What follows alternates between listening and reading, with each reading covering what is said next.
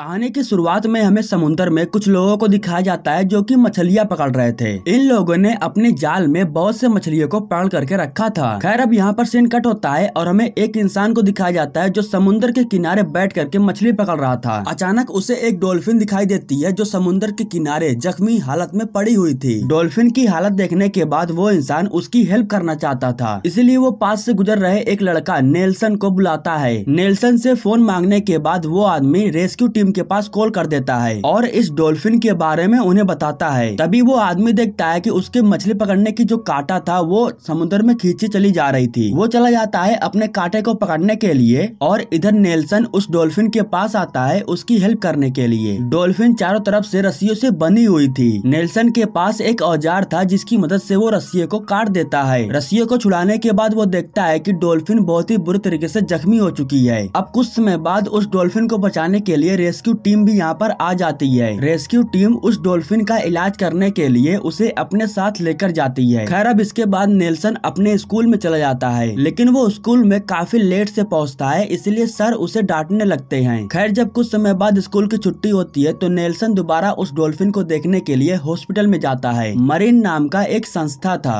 जो जानवरों को रेस्क्यू करने का काम करती थी। अंदर जाने के बाद नेल्सन की मुलाकात हेजल से होती है। हेजल के पिता ही इस संस्था को चलाते हैं। हेजल कहती है कि मुझे पता है कि तुम उस डॉल्फिन को देखने के लिए आए हो। उसके बाद हेजल उसे ऊपर लेकर जाती है और बाकी के डॉल्फिन को दिखाती है, जिन्हें रेस्क्यू करके इन लोगों ने उन्हें ठीक कर दिया था। हेजल कहती है की यहाँ पर अजनबियों का आना मना है, इसलिए तुम्हें छुप कर रहना होगा। नेल्सन छुप करके उस डोल्फिन को देख रहा था, लेकिन तभी एक सामान गिरने की वजह से एक लड़की उसे देख लेती है, और वो लड़की कहती है कि अगर तुम्हारे पिता इस लड़के को देखेंगे तो तुम्हें बहुत डांटेंगे। इसी बीच नेल्सन देखता है कि उस डॉल्फिन की पूंछ जख्मी हो चुकी है और उसका खाना पीना भी बंद है। खैर, तभी यहीं पर हेजल के पिता आ जाते हैं, इसलिए वो नेल्सन को लेकर के नीचे चली जाती है। नेल्सन अपने घर पर जा रहा था तो हेजल कहती है कि, अगर तुम्हें दोबारा आना हो तो तुम आ सकते हो। मैं तुम्हें इसी जगह पर मिलूँगी। अब घर पर जाने के बाद नेल्सन डॉल्फिन के बारे में और रिसर्च करने लगता है और उनके बारे में जानकारी हासिल करता है। जब उसकी मोम कमरे में आती है तो वो देखती है कि नेल्सन पढ़ते ही पढ़ते सो गया है। अब इसी तरीके से अगले दिन नेल्सन स्कूल में जाता है और छुट्टी हो जाने के बाद वो डॉल्फिन को देखने के लिए हॉस्पिटल में जाता है। जब उसकी मुलाकात हेजल से नहीं होती है तो वो खुद चोरी चुप के डॉल्फिन को देखने लगता है। वो देखता है कि यहाँ पर रहने वाले लोग डॉल्फिन की बहुत ही अच्छे से देखभाल कर रहे हैं। तभी नेल्सन के पीछे एक बड़ा सा पंछी आ जाता है, जो उसे डिस्टर्ब करने लगता है। और इसी बीच हेजल के पिता क्ले उसे देख लेते हैं, जो उसे अपने पास बुलाते हैं और उसे पूछते हैं कि तुम यहाँ पर क्या कर रहे हो। लेकिन तभी यहीं पर हेजल आ जाती है और वो अपने पिता से कहती है कि ये वही लड़का है जिसने डॉल्फिन की जान बचाई थी।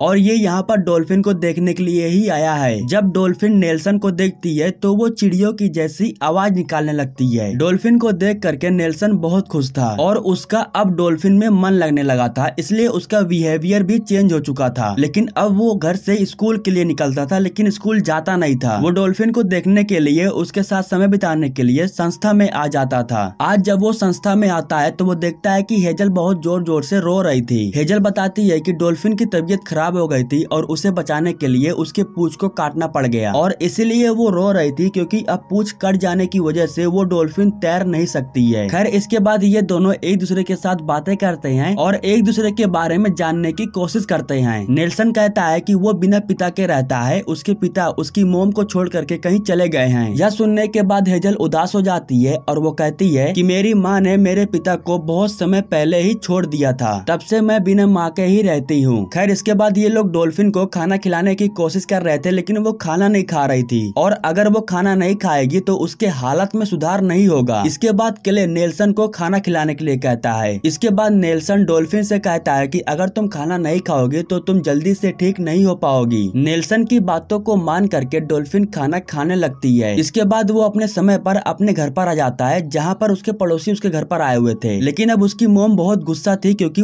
उन्हें मालूम चल चुका था कि नेल्सन काफ़ी दिनों से स्कूल नहीं जा रहा है। नेल्सन के शरीर से मछलियों की गंध आ रही थी, इसलिए उसकी मोम को लगता है कि वो मछलियाँ पकड़ने के लिए जाता है। लेकिन इसके बाद नेल्सन अपनी पूरी सच्चाई अपनी मोम को बताता है। तो उसकी मोम कहती है की तुम्हें कल से वहाँ पर जाने की ज़रूरत नहीं है। यह कहने के बाद वो नेल्सन को उसके कमरे में भेज देती है। इसके बाद उसके पड़ोसी लोरेन को समझाते हैं कि आज से पहले तुम्हारा बेटा किसी भी काम को लेकर के इतना एक्साइटेड नहीं हुआ था। अब लोरेन अपने पड़ोसियों की बात समझ जाती है, जिस इसके बाद लोरेन नेल्सन के साथ उस संस्था को देखने के लिए जाती है। अंदर जाने के बाद नेल्सन अपनी मोम को वहाँ के सभी चीज़ों के बारे में बताता है। अपने बेटे को इतना एक्साइटेड देख करके वो बहुत खुश थी और इसके बाद वो उस डोल्फिन को देखती है जिसे नेल्सन ने बचाया था। नेल्सन अपनी मोम से रिक्वेस्ट करता है कि उसे यहाँ पर आने दिया जाए, क्योंकि वो इस काम को करना चाहता है, उसका इसमें मन लगने लगा है। इसके बाद लोरेन की मुलाकात क्ले से होती है। क्ले कहता है की तुम्हारा बेटा इन सब कामों को बहुत ही बखूबी तरीके से कर रहा है। नेल्सन को पढ़ने से ज़्यादा सीखने की ज़रूरत थी, इसलिए उसकी मोम नेल्सन को वहाँ पर जाने की छूट दे देती है। अब नेल्सन भी इन लोगों के साथ इनकी हेल्प करने के लिए आ जाता है। धीरे धीरे डोल्फिन की हालत में सुधार हो रहा था, वो तैरना सीख रही थी। अब नेल्सन इन लोगों के साथ रहने लगा था और इन लोगों के साथ रह करके धीरे धीरे सब कुछ सीख रहा था। लेकिन डोल्फिन की हालत में सुधार नहीं हो रही थी, इसलिए वो ओर्थर नाम के एक डॉक्टर के पास जाता है और उस डोल्फिन के बारे में उसे सारी बातें बताता है। नेल्सन की बात मान करके ओर्थर हॉस्पिटल में आता है और क्ले से मिलता है। वो डोल्फिन से मिलता है। डोल्फिन की हालत में धीरे धीरे सुधार तो हो जा रहा था, लेकिन पूछ कटने की वजह से वो पानी में तैर नहीं पा रही थी। इसलिए अब ये लोग डॉक्टर के साथ मिल करके एक ऐसा सामान बनाने की कोशिश कर रहे थे, जिसे डोल्फिन के पीछे साइड लगाया जा सकता है और वो डोल्फिन को तैरने में मदद करेगी। ऑर्थर उस सामान को बनाने में लग जाता है। रात हो जाने के बाद अचानक से काफ़ी तेज से आंधी तूफ़ान आ जाता है, जिसकी वजह से आसपास काफ़ी ज़्यादा नुकसान हो जाता है। और वो हॉस्पिटल भी बाहर से बहुत ज़्यादा खराब हो चुका था, इसलिए क्ले काफ़ी ज़्यादा उदास था। मीटिंग में बातें हो रही थी कि अब इस संस्था को दोबारा चलाने के लिए, यानी कि ठीक करने के लिए कई लाख रुपए खर्च होने वाले हैं। अब इतना रुपए कोई देने के लिए तैयार नहीं था और क्ले के पास भी इतना रुपए नहीं थे कि वो संस्था को ठीक करवा सके। इसीलिए मीटिंग खत्म हो जाने के बाद क्ले को बताया जाता है कि अब इस संस्था को बंद करना पड़ेगा। सिर्फ़ तब तक के लिए जब तक सरकार इस संस्था को ठीक करवाने के लिए पैसे नहीं दे देती है, क्योंकि हमारे पास इतने पैसे तो है नहीं कि हम इसे खुद ठीक करवा सके। जब बच्चों को मालूम चलता है कि संस्था बंद होने वाली है तो उन पर बहुत गहरा प्रभाव पड़ता है। क्योंकि संस्था बंद होगी तो अब जो जीव जंतु हैं, उन्हें उनके स्थान पर छोड़ना होगा, चाहे वो किसी भी हाल में हो। हेजल और नेल्सन दोनों ही बहुत उदास हो जाते हैं। नेल्सन उदास मन से घर की तरफ़ जा रहा था, क्योंकि अब कुछ नहीं बचा था। कि तभी रास्ते में उसकी मुलाकात एक औरत से होती है, जो नेल्सन से कहती है कि वो अपने बच्चे के साथ उस डॉल्फिन को देखने के लिए आई है, जो तैर नहीं पा रही है, जो जख्मी है अब नेल्सन उन्हें अपने साथ लेकर जाता है उस डोल्फिन को दिखाने के लिए। डोल्फिन को देखने के बाद औरत की बच्ची बहुत खुश थी। अब इसके बाद नेल्सन के दिमाग में एक आइडिया आता है। वो किले से कहता है कि अगर हम किसी भी तरीके से उस डॉल्फिन को तो लोग उसे देखने के बाद उसकी हेल्प करने के लिए तैयार हो सकते हैं। और शायद बहुत से लोग यहाँ पर आए और हमारी हेल्प करें। डोनेशन के तौर पर अगर हमारे पास कुछ पैसे इकट्ठे हो जाएँ तो हम संस्था को फिर से चला सकते हैं। क्ले उनकी बातों को सुनता तो है, लेकिन वो जानता है कि इनकी हेल्प करने के लिए कोई तैयार नहीं होगा। लेकिन फिर भी वो बच्चों की बातों को सुनता है और उनके साथ ये काम करने के लिए तैयार हो जाता है। अब ये लोग इस डॉल्फिन की बात को लोगों तक पहुँचाते हैं और जब ये बात मीडिया तक गई तो वे लोग उसे टीवी पर भी दिखाने लगे। सभी लोग डॉल्फिन की खबर देखने के बाद इंस्पायर हुए और मोटिवेट हुए।